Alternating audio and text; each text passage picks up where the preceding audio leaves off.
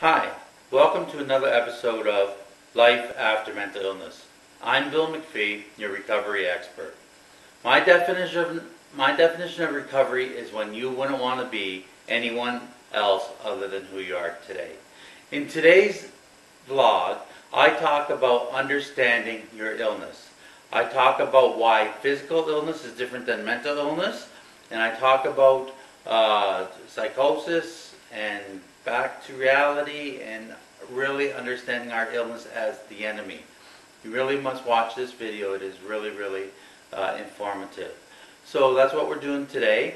Tomorrow, I'm going to be uh, doing a vlog and sharing with you a bunch of people that in the future we're going to be doing interviews. I'm going to be uh, doing interviews with different people uh, having to do with mental illness and everything like that. So tomorrow, come back and we'll I'll share a little bit about what's going to happen in the future as far as different interviews with different people and things like that. So have a have a great day and remember recovery is when you wouldn't want to be anyone else other than who you are today.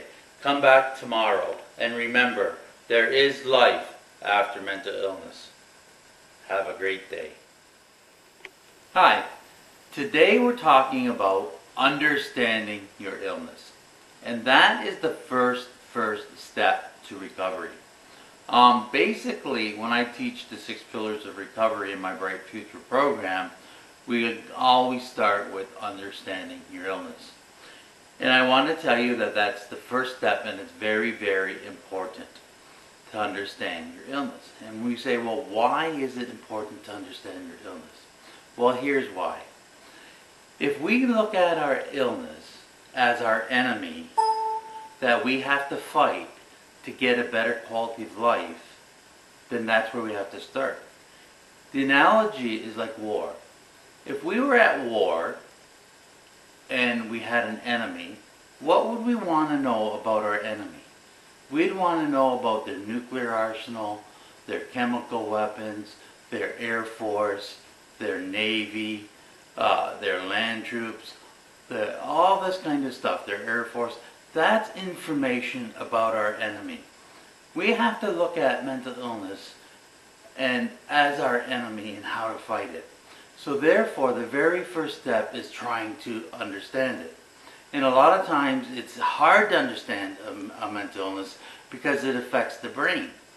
And the brain is so much different than a, a regular body our body organs. A lot of times people say, well, you know, they compare, well, mental illness is just like any other illness, a physical illness. You know, there's diabetes runs in families, a heart disease runs in families, uh, cancer runs in families, mental illness runs in families.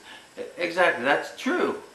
But the big difference between mental illness and physical illness is that with our mental illness, the brain may be broken. And this is what happens when the brain is broken.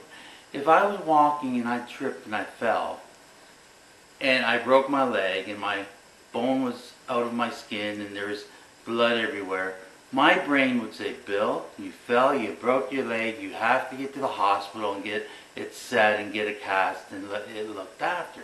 That's fine. Nobody would argue with that.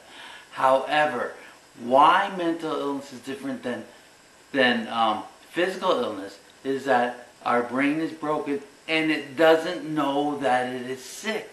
The brain when it's sick, the mind when it's sick, it, we, it can't understand that it's sick in itself. And I'll get to a letter in a little bit that will kind of show you what's going on. So, again, understanding your illness. Very, very important. So, let's talk a little bit about statistics. One out of five people will have a mental illness. And though that, that that's huge, one out of five people. So in the world today, there's, there's 50 million people in this world with schizophrenia. By the year 2020, uh, depression is going to be the number one cause of disability next to heart disease and uh, cancer, and all put together. It's rabid. You see, we see it in our society. Everybody can, you know, say I'm depressed or whatever. But when we are talking about illnesses, we have to understand them. For example, there's schizophrenia, schizoaffective, there's bipolar, bipolar 1, bipolar 2, there's depression, there's OCD, uh, there's uh, anxiety, uh, these things like that. So, what do we need to do? How can we understand it? We need to understand so we can kind of get insight into our illness. For example, we need to make it easy. We need to, because what happens, well, there's a trend today, there's a trend today for psychiatrists, for example, to say, or people will say, well, maybe we shouldn't label somebody with an illness, or maybe we should just say there it's a psychotic disorder or, or a break from reality, and not really give that diagnosis. Well, you see, in my opinion, I believe that is wrong. I believe we do need to call something what it is so we can understand it, so we can learn. If, if our enemy doesn't have a name, how can we even research it to fight it? And that's very, very, you know, very, very important. So, for example, I'm trying to, when I teach, I try to make it simple for people to understand. For example, and it's, and, and, and, it's really not, not rocket science, but for example, um, depression. A lot of people don't know that depression, if will go away eventually by itself. But here's the thing. You do not want to rely on that to say, I'm going to wait till my depression is over. Because the illness of depression is so debilitating and so mind rattling that you have thoughts of suicide and suicide comes in into the picture. And before your depression goes away before untreated it may be too late because when you're in the midst of it it may be so bad that you take your own life. So it's not good to leave depression untreated. So we have to treat it. We have to learn about it. Okay so for example um, OCD, obsessive compulsive disorder. A lot of times people think, oh, well, you know, you think about washing hands over and over, or, uh, you know, things uh, people get repeated, like somebody, if they're driving a car, thinks that they hit somebody all the time and, and has to get out. You know, these are extreme cases. We know Howie Mandel, you know, he never shakes anybody's hands because he has, has that OCD. But a lot of people don't understand it. But here's how to kind of understand a little bit of OCD.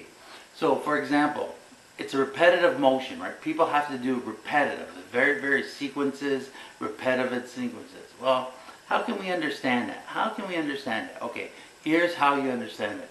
Remember the old records, the old vinyl records on the turntable? Well, remember when they go around and you had a, a arm and a needle that would go in the groove. Well, what would happen with those vinyl records when they start to wear out, wear out, is that it would stay on the same groove and wouldn't move. So what happens? It repeats the song, it repeats the words over and over and over and over and over again. It's stuck. And that's exactly with our wiring in the brain with obsessive compulsive disorder. It's like a needle in the record player and it's stuck on some kind of groove in our mind and it repeats, it repeats, it repeats, it repeats, it has to repeat. So that's a very simple explanation uh, or analogy of, of uh, obsessive compulsive disorder. Let's take, for example, um, anxiety. Um, a lot of times people talk a lot about anxiety. Oh, what's anxiety? Or I have anxiety, or so and so has anxiety problems, or everybody's anxiety. But no one ever gives a definition or really is really vague what what uh, anxiety is. Well, I'm going to tell you what anxiety is. Anxiety is basically fear of the present and always worrying about the future. So if you look at yourself and you say to yourself, I'm always fearful. I'm always fearful in the present and I'm worrying about the future all the time. Now, that's the basics of anxiety. But you have to remember the severity is in the degrees, is in the degrees, the weights that you put on those. So when you look at fear of the present, how much uh, are, from from zero to ten do you feel fear the present like at an eight or a four or a six or a two? And then do you worry about the future? Do you put weight on that? Is it, do you worry like at, at a level 9 from 0 to 10, at level 9, a level 2? And that's what basically that that's that understanding. So you probably didn't understand that before or look or see that it was made simple, right? And that's what recovery is all about, understanding our illness so we can so we can uh, uh, battle it, so we can fight it, so it's our enemy. I want to read a letter that I got here, and I just want to comment that. That has something to do, do with that. So, for example, this woman writes to me, she says, My son has refused treatment for four years. He continues to deteriorate, believing in the dolphin will take care of him, but when dolphin leaves, he becomes very agitated. He believes his sister is the Antichrist because her name, Christy, first five letters spells Christ. Have you known anybody with these thoughts? He lives with me. He is 41 years, diagnosed at age 25 with paranoid schizophrenia.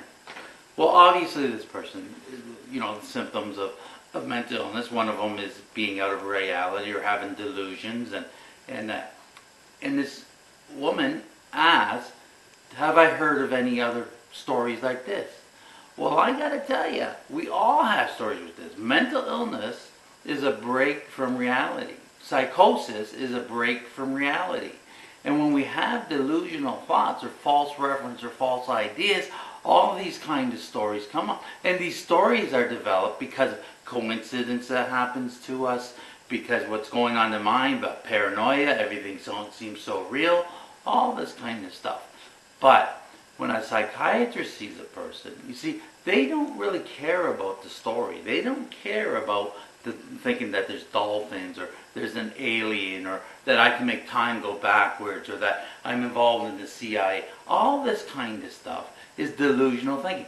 The psychiatrists don't really care about the stories because what they want to do is they want to try to medicate so these symptoms go away, your positive symptoms go away, that the paranoia goes away, that the delusions go away, and you can start actually making sense of your life. Now, this person's gone treated for four years, doesn't accept treatment.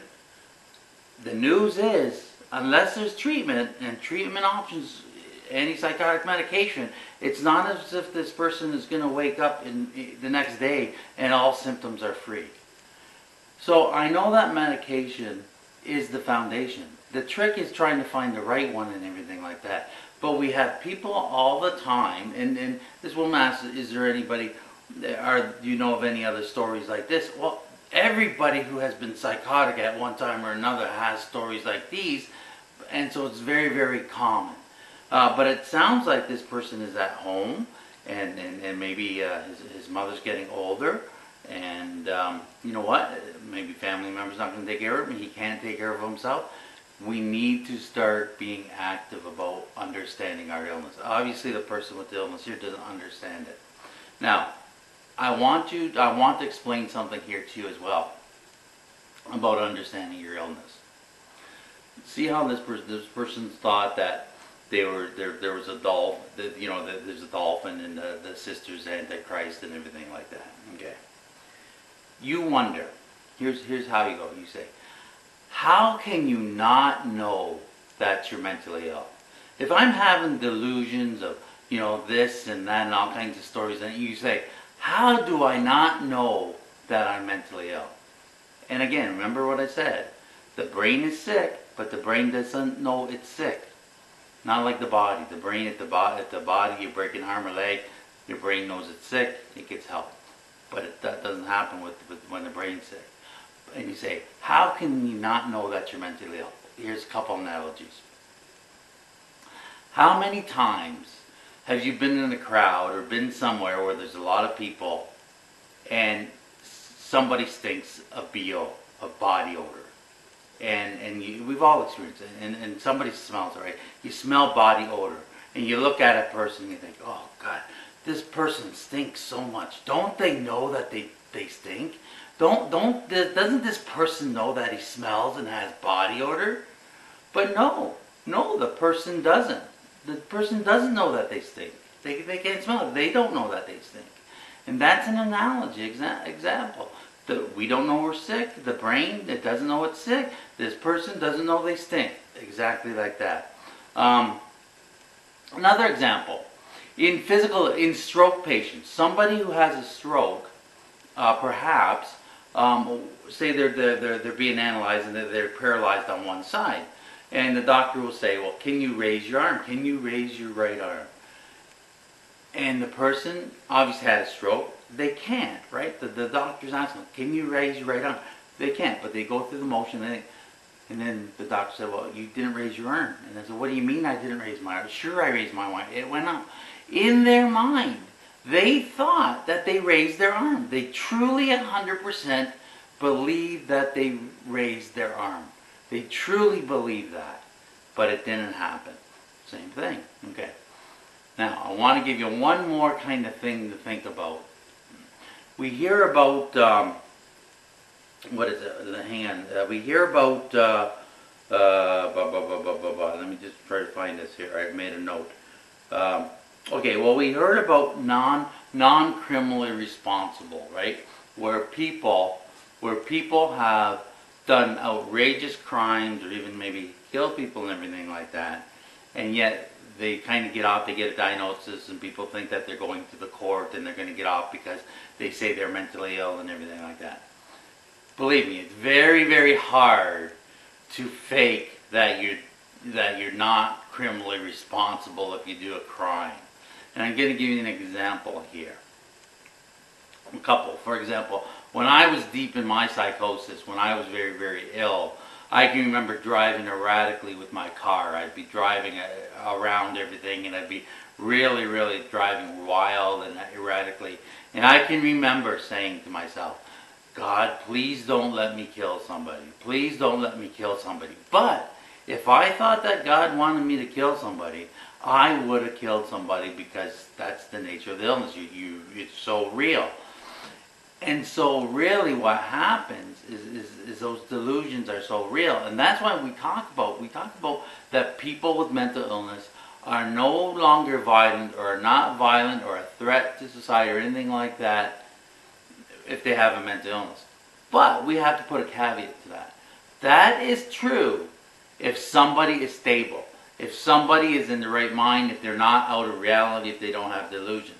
However, if somebody in the mind, if somebody is still very delusional and having thoughts and we don't know what they're thinking, they could be dangerous. Let's face it, nobody knows what's going on in the mind of somebody with a psychosis.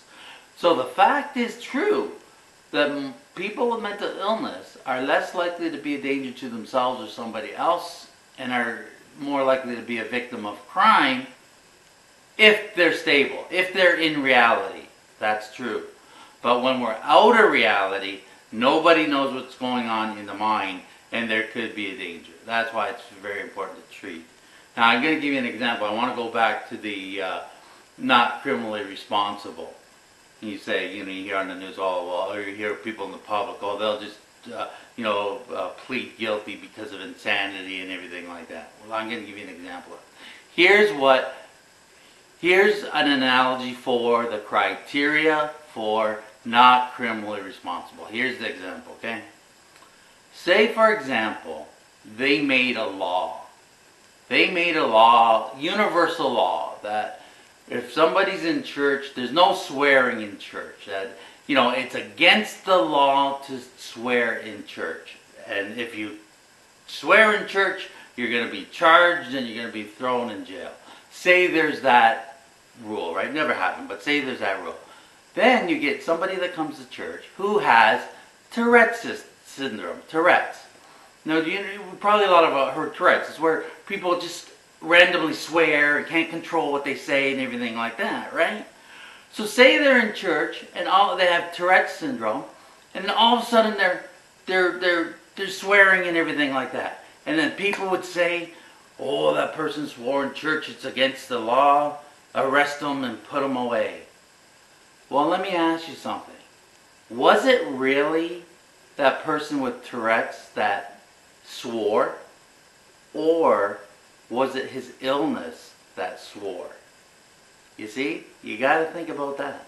And that's the analogy, that's the uh, example of that. Okay, um, let's see. Okay, so I, so I think you, you get my, my, my, point. So the, the point is that we really have to understand our illness. We got to look at it as our enemy and with education and understand and try to understand it. And for this person here, that the letter that I wrote, I truly believe that they need to be treated and they need to somehow get rid of those symptoms and those delusions and get back into reality so they can start picking up the pieces of their life. Because four years of being untreated, it's not going to go away. Four years will turn into six years, and six years will turn into ten years, and the parents will be dead, and then, then the, the, the person with problems will be in the same situation. And this is how tragedies and homelessness start with this illness. Okay, I'm going to quit here now, uh, but once again, understanding your illness is very, very important. So um, I'm going to end there. So uh, remember, recovery is when you wouldn't want to be anyone else other than who you are today. And remember, there is life after mental illness. Have a great day. Hi, thank you for watching. Make sure to like, comment, and subscribe. And follow me on Facebook and Twitter. And also be able to uh, send me your questions at bill at billmacphee.ca. As well, for more information, go to billmacpheerecoveryexpert.com. Links will be in the description below. Come back for another vlog tomorrow, and remember, recovery is when you wouldn't want to be anybody else other than who you are today. And there is life after mental illness. Have a great day.